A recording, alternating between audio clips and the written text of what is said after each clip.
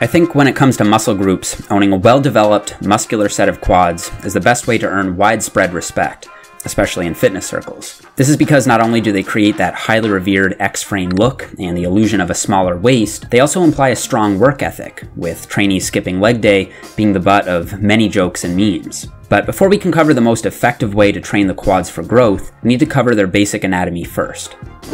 The quadriceps femoris muscle, or quads for short, is composed of four main muscles. Their names inform their anatomy, so most laterally, or outside, is the vastus lateralis. Most medially, or inside, is the vastus medialis, with the vastus intermedius sort of sitting in between the two. These three muscles originate on the femur and ultimately insert on the tibia via the patellar tendon, and they collectively function to extend the knee, or straighten the leg, like in a leg extension. Lying over top of these three is the beefy rectus femoris, which functions to extend the knee as well, but because it inserts higher up on the hip bone, it also performs hip flexion, making it a biarticular muscle, acting on two joints. Recent cadaveric studies have identified smaller fifth and sixth muscles in this group, but we won't focus on these. The three vastus muscles are a pretty even split of type 1 and type 2 fibers, indicating that a variety of high reps and low reps should be used. And multiple studies indicate that the rectus femoris is more type 2, or fast twitch dominant, meaning it may respond better to heavier loads.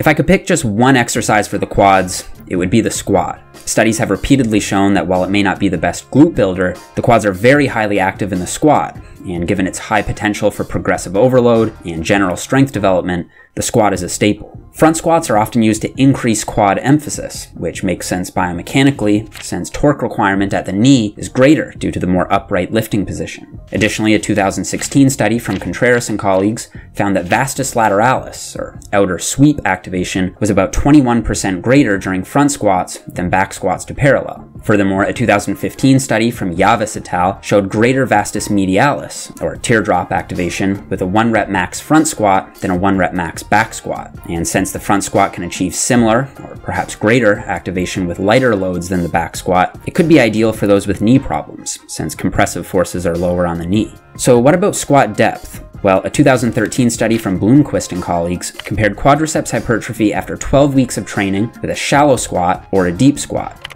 Using MRI, they found that muscle cross-sectional area was greater at every single site measured for the deep squat group, and the shallow squat group didn't see any increase in size at all for four of the six quad sites. The Contreras paper from earlier also hints toward quad activation increasing with increasing depth.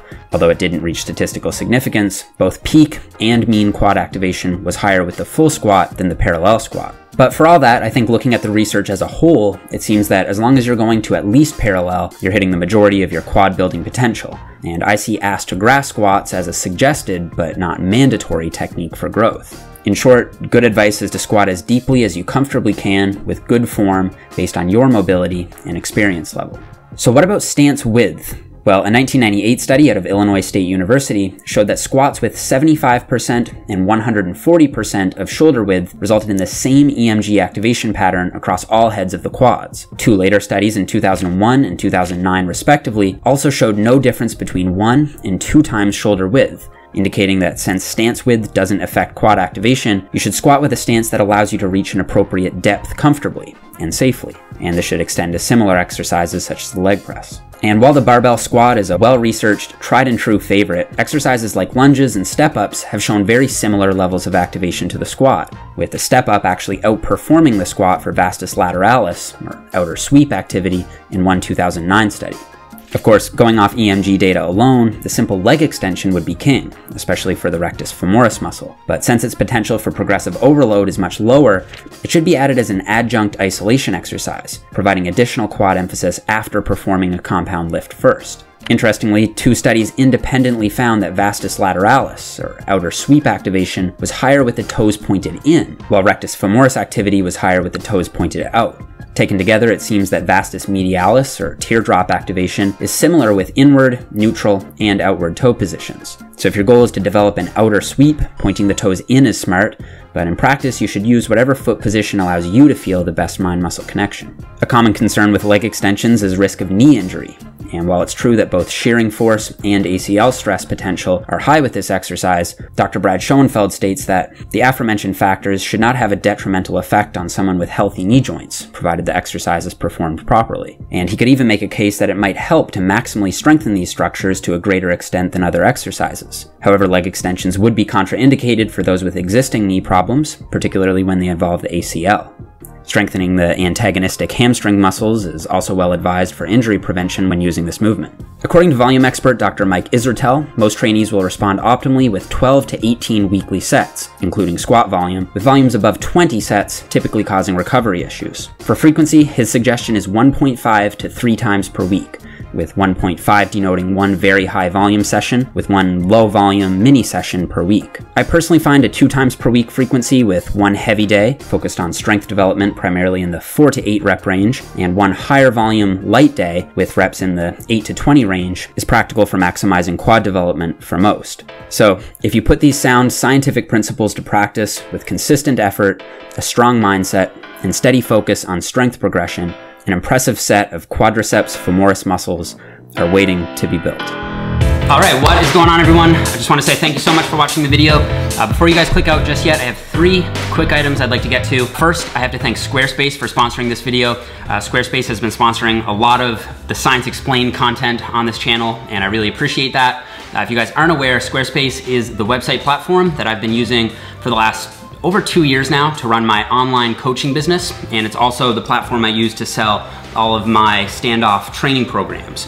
And over the weekend, I actually ran a Black Friday and Cyber Monday sale on all my programs and Squarespace is just so simple and easy to use that it only took me about 10 minutes to set the whole thing up. So if you guys are looking to set up your own website or run your own online store, Squarespace is the service that I recommend. And you can save 10% off your first purchase by going to squarespace.com forward slash Nippard and using the offer code Nippard at checkout. They have amazing beautiful designer custom templates, and they also have 24-7 customer support. So if you ever get stuck on anything, you can just contact them and they'll help you out right away. Number two, I've been getting a lot of requests for a lower body specialization program, uh, but I'm not releasing that one just yet. Uh, I do plan to release a full body program in January that'll include every body part. And also I wanted to just allude to the fact that I know I made a big deal out of squats in this video and some of you may notice that I don't actually do a lot of squatting myself.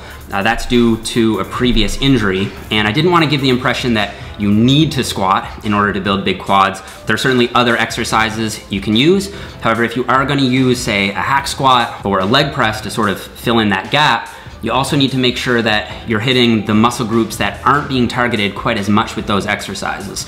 Um, so one thing that comes to mind is the spinal erectors and kind of the posterior chain in general. You get a lot of work for the posterior chain out of the squat, not quite so much out of the leg press. So you may want to add in, say, a lower back extension or a barbell hip thrust, or if you can deadlift, definitely include a deadlift. But I didn't want to give the impression that it was mandatory because I think for hypertrophy, there really are no mandatory exercises. That's going to conclude this video, guys. Uh, if you liked it, please give me a thumbs up. If you happen to be new, don't forget to subscribe, and I will see you guys next time.